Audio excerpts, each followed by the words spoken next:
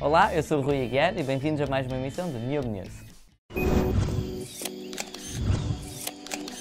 A comunidade de fotógrafos a nível mundial sofreu a perda de um dos seus. O fotógrafo David Gilkey foi morto durante uma rede de talibãs no Afeganistão. Estava na companhia do exército americano na província de Helmand quando o seu Humvee, no qual viajava, foi atingido por um míssil. Será certamente uma grande perda para o mundo da fotografia. Nos rumores que temos visto ultimamente acerca das câmaras que irão sair na Fotoquina, em setembro destaca-se a Canon 5D Mark IV, a Canon 6D Mark II e a Nikon D3500. Ao que parece, estas duas câmaras da Canon já terão vídeo em 4K, finalmente. A única função do estabilizador é, como o nome indica, estabilizar uma imagem. Num vídeo que se tornou viral, um senhor que estava a testar o estabilizador com uma Arri Alexa XT decidiu dançar no momento errado.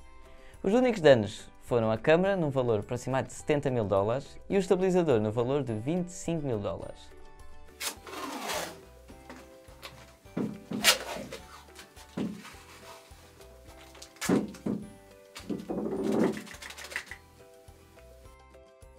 A Pentax anunciou seu novo modelo, a Pentax K70. Uma DSLR mais compacta com um sensor APS-C de 24 megapixels. É resistente a pó, salpicos e temperaturas até 10 graus negativos. Filma em Full Frame HD e tem um ISO expansível até 204.800 e tem um sistema de redução de vibração de até 4.5 stops. Apesar da data exata do lançamento da máquina não ter sido anunciada, desconfia-se que deverá sair em julho deste ano, com um preço aproximado de 650 dólares. Poderá ver todas as especificações no link na descrição em baixo. A DJI lançou um aparelho muito interessante, chamado DJI Focus e permite controlar a focagem e abertura de uma câmera sem fios. Muito útil de facto se estiver a usar a sua câmera presa a um drone, para poder controlar a focagem e a abertura sem ter que aterrar o drone para o fazer. Funciona até 100 metros de distância ou 5 km se for utilizado em conjunto com o Zenmuse X5 e o drone Inspire. Só precisa despender de 2 mil dólares e este brinquedo já pode ser seu. Os investigadores da Universidade de Harvard desenvolveram uma meta-lente capaz de tornar a imagem de câmaras de smartphone muito mais nítidas. Esta lente, além de permitir tornar as imagens mais nítidas, tem um custo mais baixo e mais fácil de produzir que as lentes produzidas atualmente. Existe muita tecnologia envolvida nesta lente para conseguir explicar em alguns segundos, mas poderá ver mais informação no link na descrição em baixo. Esta semana o agente especial 1855 foi atrás de um fotógrafo especialista em retrato. Vamos ver o que é que ele encontrou.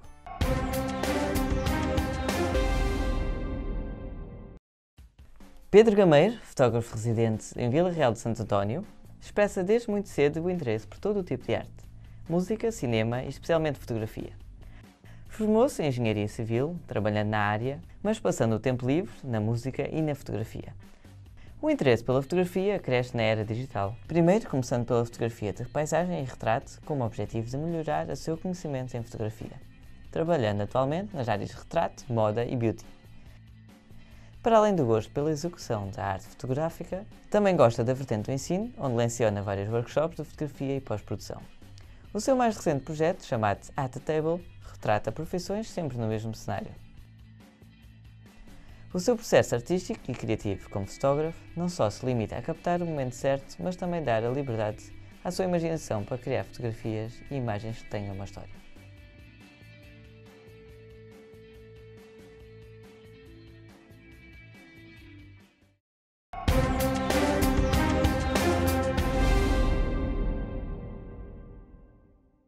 Quer aprender mais sobre fotografia e vídeo? Porque vem aí a dica da semana.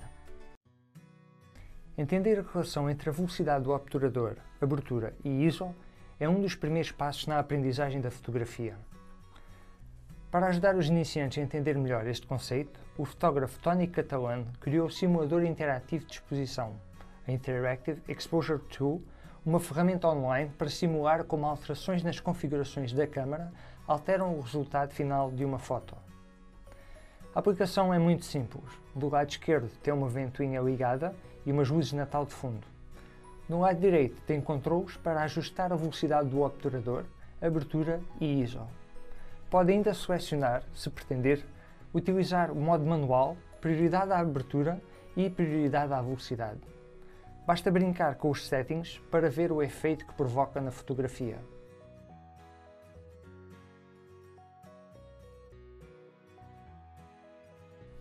É uma aplicação que funciona em qualquer browser, seja no computador, num tablet ou smartphone, e melhor de tudo, é gratuita.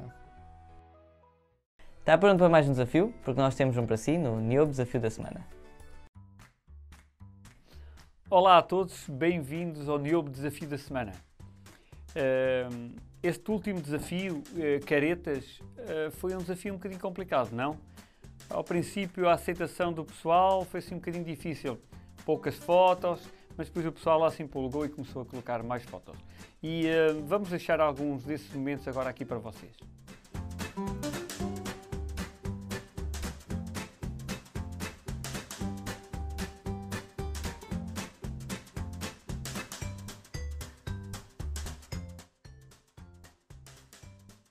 E que tal? Algum de vocês teve problemas com a fotografia que colocou? Levou algum puxão de orelhas, uma repreensão da pessoa, diz pá, não devias ter posto lá essa fotografia. Espero bem que não, porque isto também é uma brincadeira, um desafio é uma brincadeira e é bom ver as vossas participações. Um, e vamos deixar mais um desafio, mas antes disso, já sabem, todas as semanas, lá está, é uma obrigação, ok? Toda a gente a pôr lá fotografias sobre o tema. E o tema desta semana é grafite.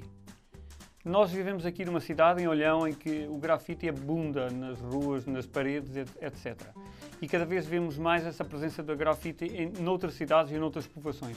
Então achamos por bem vocês poderem fotografar os grafites que encontram. Os que acharem mais bonitos, os mais interessantes, o que seja. Já sabem, ficamos à espera das vossas fotografias sobre grafite. A todos vocês, até para a semana. Todas as notícias e rumores faladas nesta emissão do New News podem ser encontrados, o link na descrição em baixo. Estamos cá todas as sextas-feiras e vemos-nos na próxima. Por isso já sabes, New News, tudo sobre fotografia e vídeo.